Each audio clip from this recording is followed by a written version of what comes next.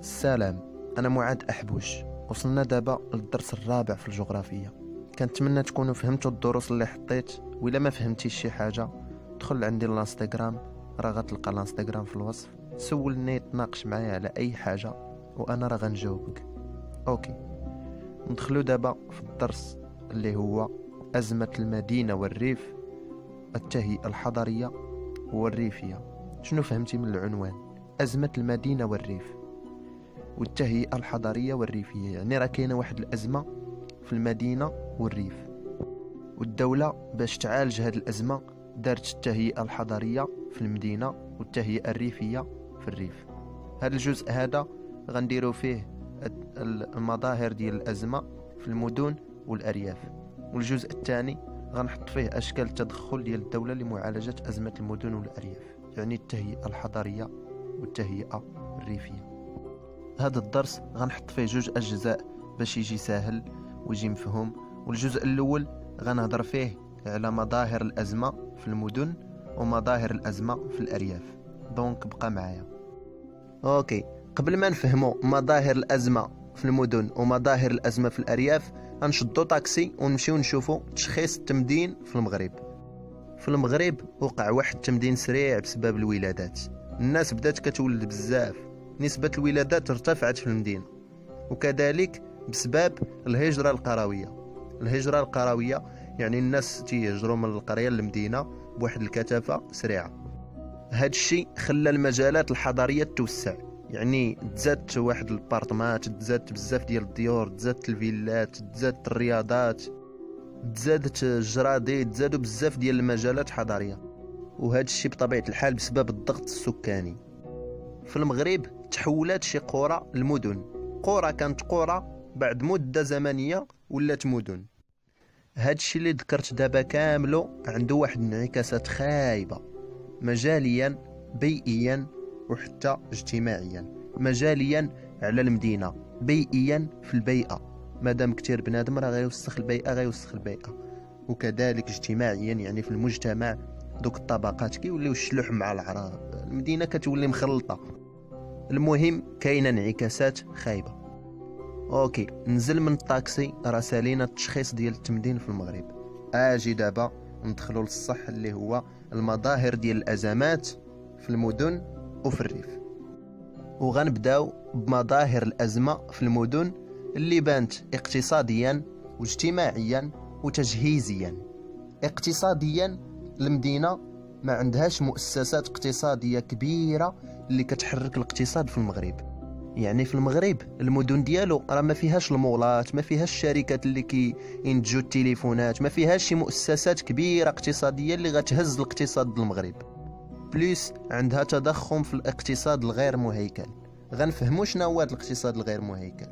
الاقتصاد الغير مهيكل هو الضريبة اللي ما كيخلصوهاش دوك الشركات المتوسطة ولا الشركات الصغيرة ولا دوك اللي كيهربوا المخدرات بحال الحشيش وماريخوانا إلى آخره. هاد الشركات مثلا كيجيبوا واحد المنتوجات منتوجات من برا ما كيخلصوش عليها الضريبة وهذا راه كيضرب في الاقتصاد المغربي. زيادة على هذا الشيء ارتفاع حدة المضاربة العقارية. شنو هي المضاربة العقارية؟ هي هذاك اللي تيبيع لك مثلا واحد العقار وتيبيعه لك بثمن مرتفع على اللي غيناسب مع العرض والطلب. يعني كيبغي هو يربح منك. هو داك العقار ما كيساويش داك الفلوس ولا داك الثمن بالمقارنة مع العرض والطلب وكيفاش خصو يتباع. ولكن هو كيبيعو لك بثمن مرتفع. وانت ملي غتشري هاد الأرض ولا هاد, هاد العقار ملي غتشريه راك غادي تبيعو بنفس الثمن ولا الفوق وما غيبقاش التوازن في الاقتصاد وهكا غيتدهور الاقتصاد. أوكي. دابا نشوفو اجتماعيا فين بانت مظاهر الأزمة. بانت مظاهر الأزمة في المجال الاجتماعي قلة فرص الشغل زيد عليها انتشار البطالة زيد عليها السكن الغير لائق ما كاينش فين يسكنوا الناس زيد عليها الفقر اللي انتشر في المدينة وانتشر الإقصاء الاجتماعي. يعني الناس ولا دابا الطبقة ال high class هي اللي خصها تعيش أما الشيء الآخر راه غير خشبيش. donc كاين هذا الإقصاء الاجتماعي. يعني ما كاينش واحد ما كيوازنوش ما بين الطبقة الفقيرة والطبقة الغنية راه بجوجهم بحال بحال. ودابا غنساليو بتجهيزيا. فين بانت المظاهر ديال الأزمة بالمدن تجهيزيا؟ بانت في الطرقان اللي ما مجهزاش؟ بحال الطريق ديال تيزين تيشكا؟ البنية التحتية عارفين إحنا ما مجهزاش. غتشوف أي طريق عندك في مدينتك غتلقى بزاف ديال الطرقان ما مجهزاش. وأكبر مثال هو الطريق ديال تيزين تيشكا اللي ما بين مراكش والرشيديه بانت هاد المظاهر في الشبكة ديال التطهير بانت في الإنارة وبانت في الماء ديال الشرب. يعني الماء والضوء راه ماشي كل شيء يعني ماشي كاع المواطنين متاح ليهم. المواطن مثلا الفقير ما متاح ليش أن الضوء والماء. بليس الأزمة ديال النقل الحضاري. يعني طاكسيات الطوبيسات هذاك الشيء قليل في شي مدن. هاد المظاهر ديال الأزمة كلها في المدينة. أجي نشوفوا دابا الريف. فين بانت مظاهر الأزمة في الريف؟ بانت في ضعف التنمية الاقتصادية يعني الدخل الفردي إلى آخره. بانت في الإنتاج الفلاحي اللي كيضعاف مع التقلبات الجوية زيادة على هذا الشيء ولات الزراعة في المناطق البورية. المناطق البورية الغير الصالحة للزراعة هي السائدة وهي اللي ولاو كيزرعوا فيها الناس. الأراضي البورية هي الأراضي اللي كبرات وتكشترات يعني ولات ضعيفة وصعيب أنك تزرع فيها شي حاجة.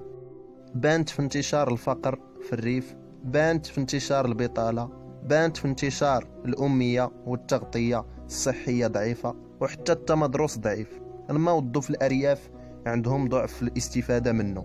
وهاد المشاكل اللي كاينة في الأرياف راه هي اللي نقدو نفسرو بها كيفاش كتخليهم يمشيو للمدينة العملية اللي كتسمى بالهجرة القروية. هاد المظاهر ديال الأزمات هي اللي كتخليهم يديروا الهجرة القروية ويمشيو للمدينة. هنا غنكونوا سالينا الجزء الأول من هذا الدرس ديال أزمة الريف والمدينة. التهيئة الحضارية والتهيئة الريفية. كنتمنى تكون فهمتي هذا الجزء الأول. باش تتبع معايا الجزء الثاني وتفهم الفيلم كامل. إلا ما فهمتيش شي حاجة ولا بغيتي تسولني بشي حاجة ولا تخلي لي شي كلمة ها الانستغرام ديالي لتحت. شكرا للمتابعة ديالك ليا. إلى اللقاء.